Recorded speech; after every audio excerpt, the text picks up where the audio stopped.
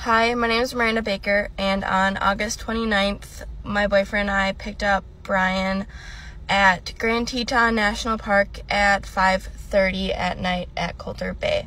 Um, I'm hoping this can help someone identify him because I saw him from TikTok, which then made me call the authorities. And um, my boyfriend and I have been in contact with a bunch of different people to help. Um, piece together different parts of this case, but we picked him up at Colter Bay, like I said, at 5:30. He approached us asking us for a ride because he needed to go to Jackson, which we were going to Jackson that night. So I said, you know, hop in. Um, he hops in the back of my Jeep. We then, you know, proceeded to make small talk.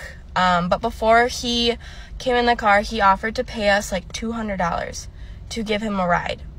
Like 10 miles. So that was kind of weird. Um, he then told us he's been camping for multiple days without his fiance. He did say he had a fiance and that she was working on their social media page back at their van. Um, then once like in conversation I brought up, yep, like we're going to Jackson. Um, he freaked out. He's like, nope, I need to get out right now. Um, you know, like pull over. So we pulled over at the Jackson Dam which I don't know if you're um if you know like Teton Park, but it's not very far from Colter Bay. And if this does like reach people, I can post pictures of you know exactly where we were. We picked him up and the whole route or whatever, and like screenshots of like the timestamps. We dropped him off at 6:09 p.m. on August 29th. Um, he kind of like hurried out of the car, and then he's like, "Okay, I'm just gonna go find someone else to you know hitchhike." And we're like, "Okay." Um, it, was a weird situation.